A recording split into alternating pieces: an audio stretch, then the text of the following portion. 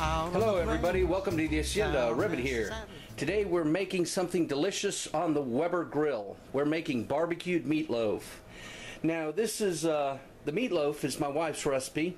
Uh, she came up with it with a special twist ingredient. It's mushrooms, finely minced, mixed into the meat will help uh, release their moisture and make the inside of the meatloaf nice, fluffy, tender, and moist. Uh, and you, we don't have that dried out, hard, nasty meatloaf that all of us are familiar with. Uh, we're also going to feature Chef John Politte's chili seasoning and dry smoke rub as a flavor and a rub for the meatloaf. And uh, I'll show you how we're going to fix it. Stay with me. All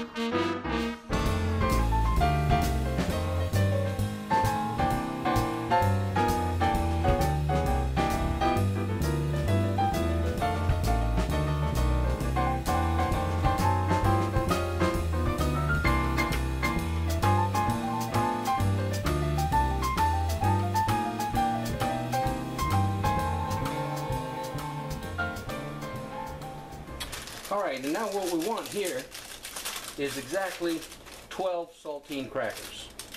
Um, we're going to make uh, a meatloaf with three pounds of burger, and there are four crackers per pound of burger. Thus, we got 12. And while I'm crushing them, uh, I want to give a shout out to a new channel I ran across. It's called Dave's Cooking. And uh, I'm going to put the link here in the little box you guys go check him out. That guy is a chef in his own right. I don't know that he's a real chef, but uh, he puts out some Asian food that will knock your socks off. Um, he's a good guy, and his food is beautiful. Not only beautiful to look at, but beautiful to eat. I can imagine. His cooking is delightful. So check him out. Tell him I sent you. Tell him I said hello. Uh, like and subscribe his channel, okay? Dave, you rock. All right, what we got here is uh, three pounds of uh, lean meat, ground beef. That's uh, 90-10. Uh, we buy half a steer every year, and uh, we request the processor to uh, um, cut it that way. Now we're going to add one scant teaspoon of kosher salt,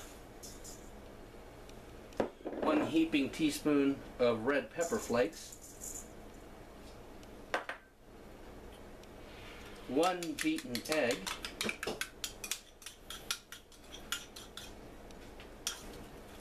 the 12 crushed saltine crackers, oh, about half teaspoon, three quarters teaspoon of coarse ground black pepper.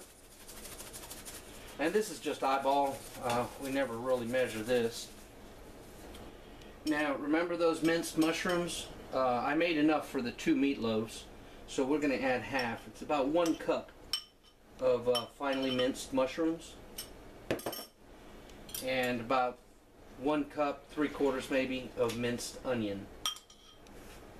Then the pièce de résistance, Chef John's uh, dry smoke rub seasoning, and we're going to put a generous tablespoon or two in there okay? Because this stuff is worth its weight in gold. And then, of course, the only way to make, make a meatloaf is with washed and sanitized hands. Get in there and make it happen. Alright, don't want to work the meat too much, but we certainly want to get all these wonderful flavors combined.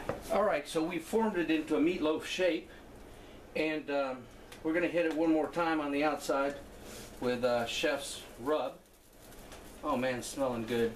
Now this baby's going in the um, in the fridge for a couple hours to firm up, and then we're going to put it on the grill.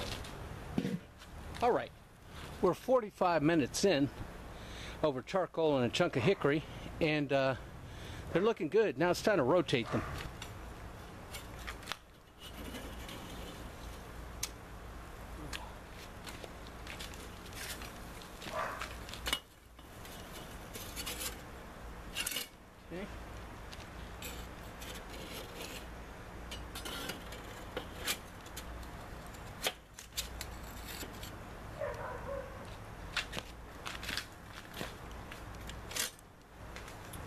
There you go. Okay, they're temping out at 120, and we want to cook them to about 175. And what I'm going to do is I'm going to coat one with uh, Famous Dave's uh, Rich and Sassy Original Recipe Barbecue Sauce. The other one I'm going to leave naked. So we'll take some sauce and paint it like so, right nicely.